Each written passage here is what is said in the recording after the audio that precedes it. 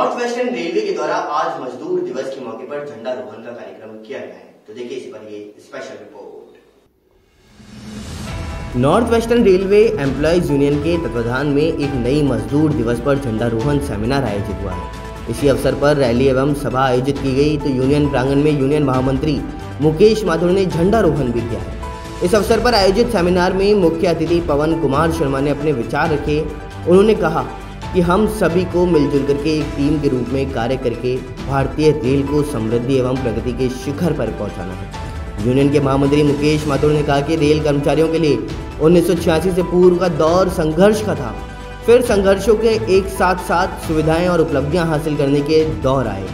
आज फिर पुनः उन्नीस सौ छियासी से पूर्व की परिस्थितियाँ उत्पन्न हो गई हैं। जबकि केंद्र सरकार श्रमिकों के हित की बजाय उद्योगपति व नियोक्ताओं के लिए हितों का ध्यान रखते हुए नीतियाँ बना रहा है। केंद्र सरकार ट्रेड यूनियन को कमज़ोर करने की कार्रवाई कर रहा है तो उन्होंने यह भी कहा है कि चार लेबल कोड के लागू होने के बाद में नियोक्ताओं के लिए श्रमिकों के शोषण का मार्ग प्रशस्त्र हो जाए। फ़िलहाल देश और दुनिया की तमाम बड़ी खबरों के लिए इतना ही। बने रहिए न्यूज़ के साथ। नमस्कार।